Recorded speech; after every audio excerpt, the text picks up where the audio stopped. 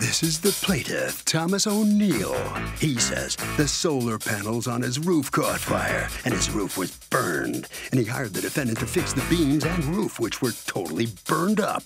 The lazy guy tried to cover up the burnt rafters with new shingles. He paid him to replace the rafters, and now the roof is unsafe and could cave in with a heavy snowfall. That's not right. So he's suing for $4,036.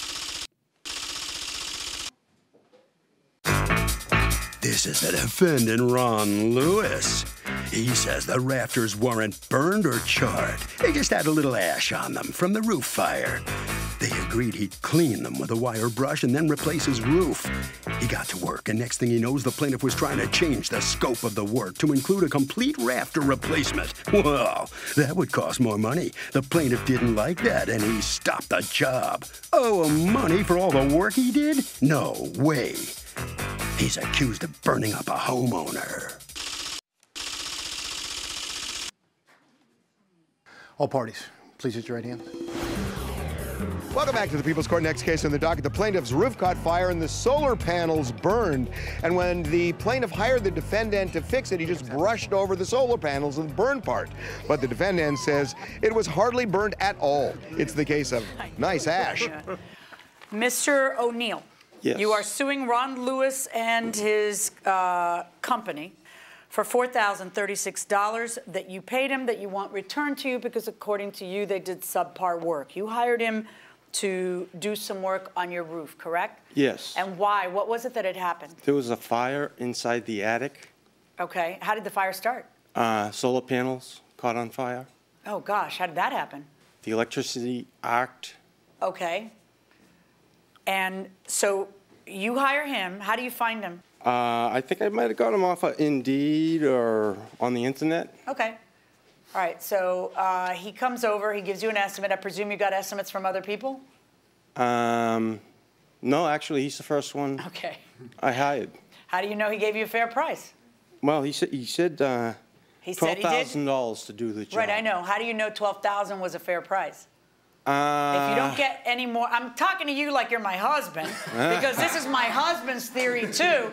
No, he seems. not. I'd like to have him do it. How do you know he's giving you a fair price if you don't get two other estimates? I'm just curious. I don't know. I don't Exactly. know. I just, Okay. All I So went anyways- on is the price and what my father's paid for his roof. Okay. Which, which was ten thousand dollars. All right, so you had some guidance. Yeah, I All had right, some so, guidance. Uh, so he comes in. Do you have a contract that you Yes, signed I with do. him? Let me see the contract. That's the contract for twelve thousand dollars. And what were you getting for the twelve thousand dollars?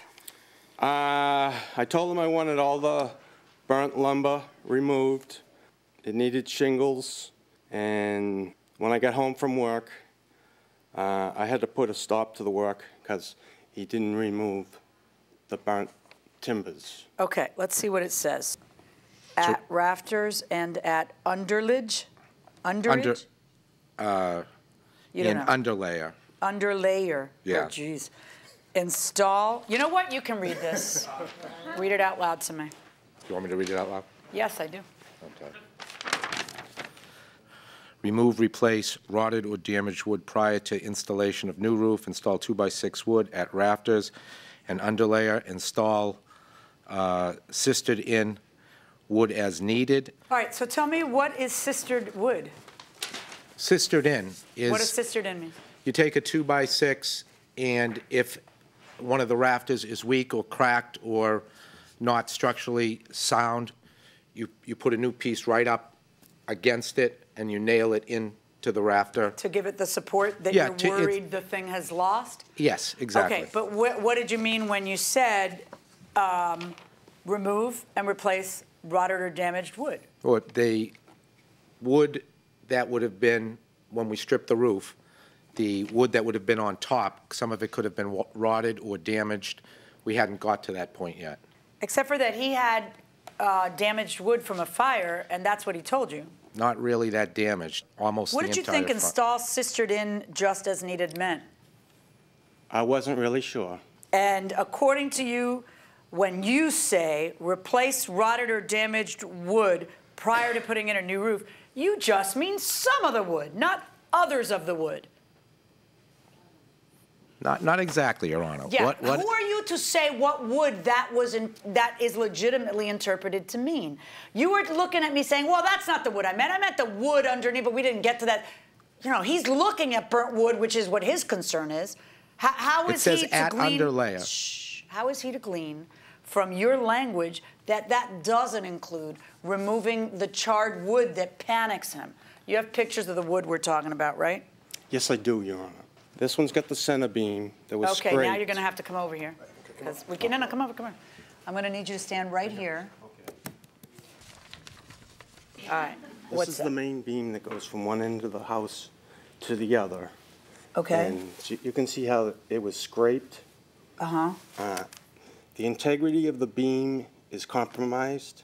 Who are you to say that, though? Did you have, is there somebody else who said that? Do you have, do you have an Well- opinion from a professional that says this can't stay that way, the integrity of the beam is compromised? Or are you just asking me to deduce that from how it looks?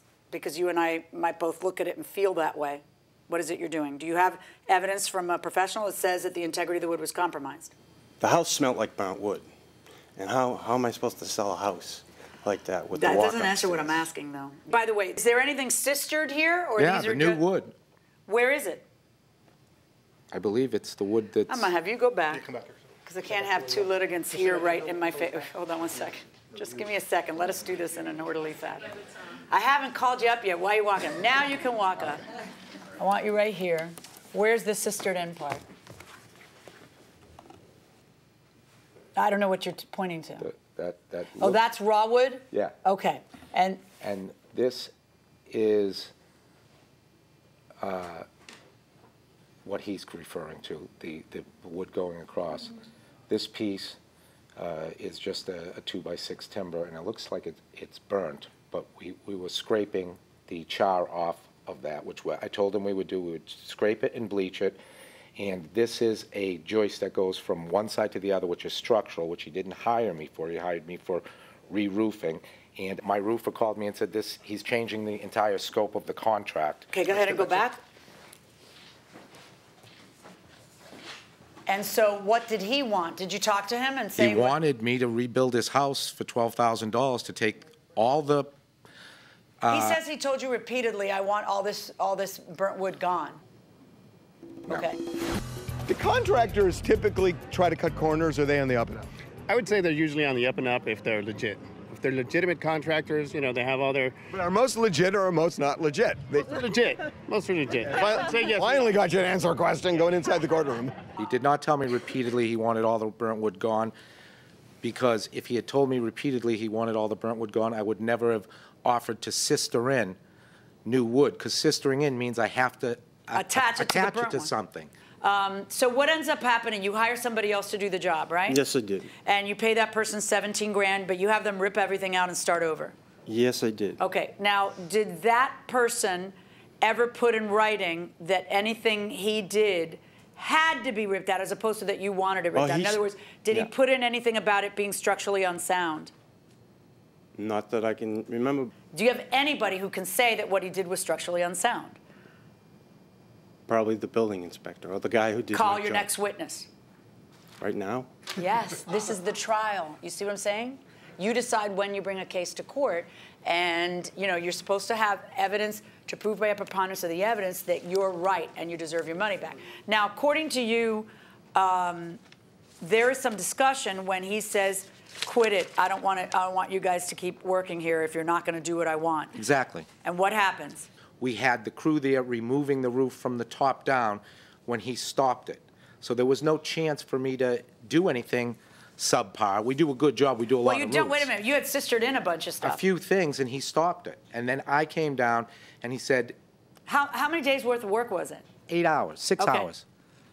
I came down, and he said that he had spoke to a neighbor down the street who was a contractor that was willing to do all kinds of extra work. And I said, yeah, but the contract's with me, and I'm going to follow what we signed to do. And if you want to do extra work, you can hire him to do it, or you can pay me to do it. And he said, I think I'd rather hire him to do it. And I said, well, I'd like to get paid for my damages because my dumpster is here, my material's here, and my men are here. And he said, I'll give you $4,000 right now to leave. He said that. He did. My contract calls for a liquidated damage of 33% if you fail to allow me to perform. Uh, They gave me $2,000 additional, which is a total of $4,000. And I left. And a year later, he said, and I left the dumpster there. Did you give him an additional $2,000 to walk off? No, I gave him a $2,000 down payment. And then another $2,000? No, we agreed on, I bought the shingles off him. Can we go to the uh, contract? Because there is something important in there.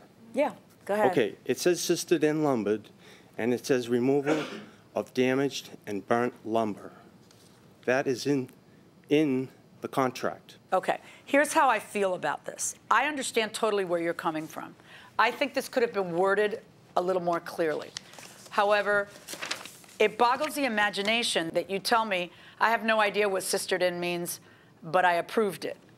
Because sistered in means what he says it means, okay? That he's going to install additional support by, by marrying the woods next to each other in a way that, you know, if you feel that what he is doing is subpar and dangerous, then it's so simple. Every day of my life, people in your shoes go behind that lectern and do this. They give me evidence that what the guy did was unsafe.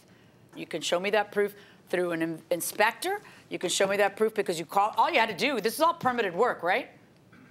Yes. Yes. Yes. So all you had to do was call the county or the city and have them come over and take a look. Yeah. Okay, that didn't get done. You got a new guy to come in and do stuff, but you, I've asked you six times. Did that guy say that what this guy did was structurally unsound? Do we have that in writing? And the answer to that is no. Um, so I don't know if there was an accord and satisfaction that day and a settlement, or whether he just bought materials and that was it, and he didn't lose his right to see you. I don't know. But for you to be able to win this case, you are going to have to prove to me that what he did did not abide by what you signed. And I am not seeing that based on what I am hearing. Your Honor? Okay? My verdict in this case is for the defendant.